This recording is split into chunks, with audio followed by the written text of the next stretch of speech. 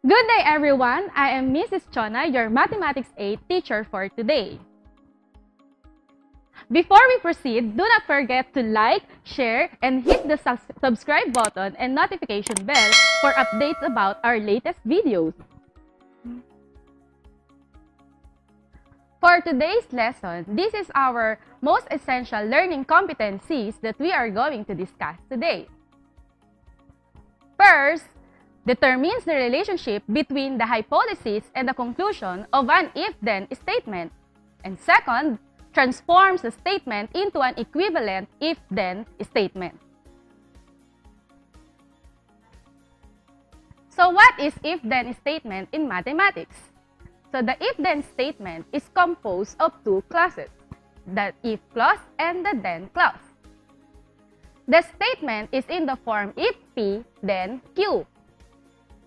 The P statement is what we call the hypothesis, and the Q statement is what we call the conclusion. A simple flow of reasoning from if clause to the then clause is called simple implication. The if-then statement is composed of two parts, the hypothesis and the conclusion. So let's go back to our example earlier. If a number is even, then it is divisible by 2.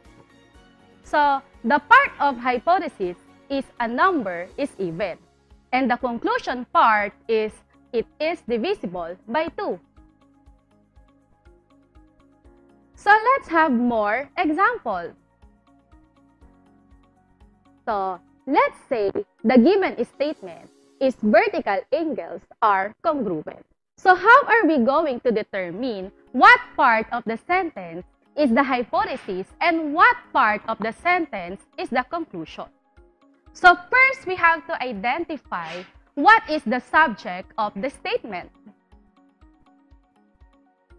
and the predicate.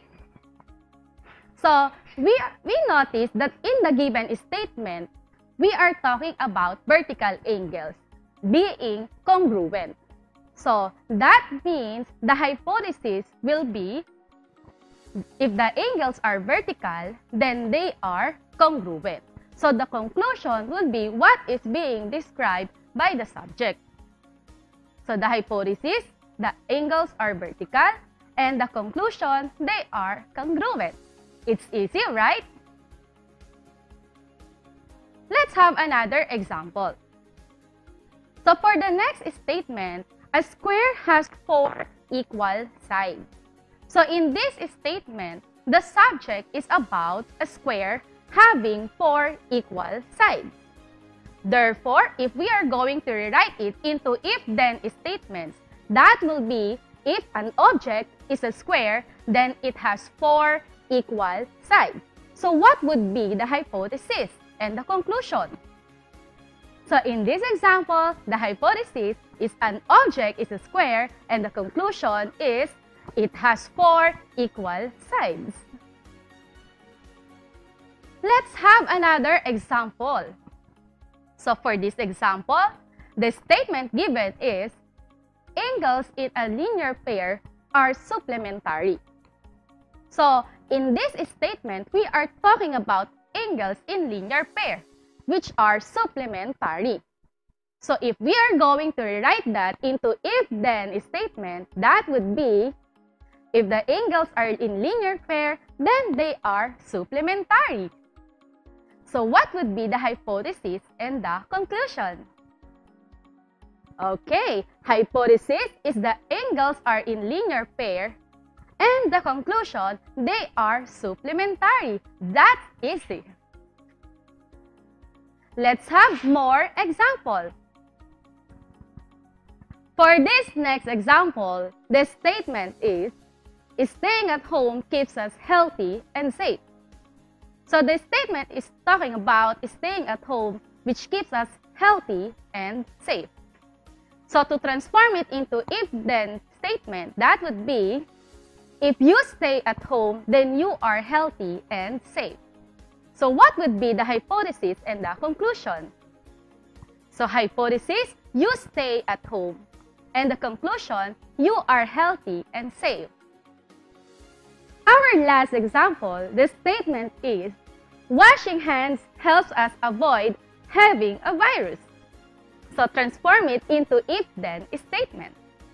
And that would be,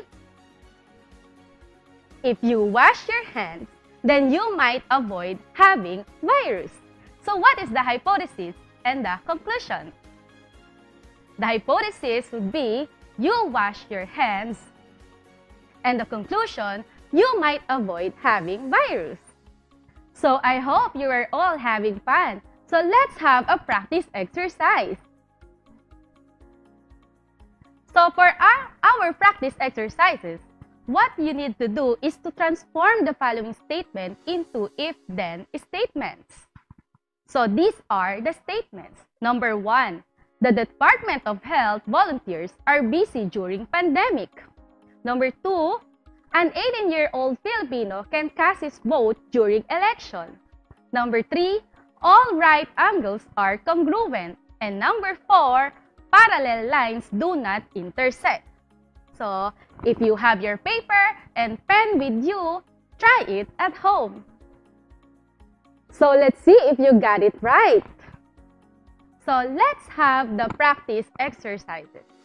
So, for number one given, the statement is, the Department of Health volunteers are busy during pandemic. So if you will notice, the statement talks about the DOH volunteers with who are busy during pandemic. So what would be the if-then statement for this? Okay, if you are a DOH volunteer, then you are busy during pandemic. That's correct. Okay, let's have the next exercise. An 18-year-old Filipino can cast his vote during election. And what it talks about? It talks about 18-year-old Filipino who can cast his vote during election. So what would be the if-then statement for this? Okay, if you are an 18-year-old Filipino, then you can cast your vote during election. That's correct. Let's have our third exercise. The statement is, all right angles are congruent. And it talks about all right angles being congruent. So what would be the if-then statement for this? That's right. If the angles are right angle, then they are congruent. You got it correct. And for our last given exercise, parallel lines do not intersect. So it talks about parallel lines that do not intersect. So what would be the if-then statement for this? Okay, the if-then statement would be, if the line are parallel, then they do not intersect. I hope you have learned something from me today. So thank you everyone and keep on watching our videos.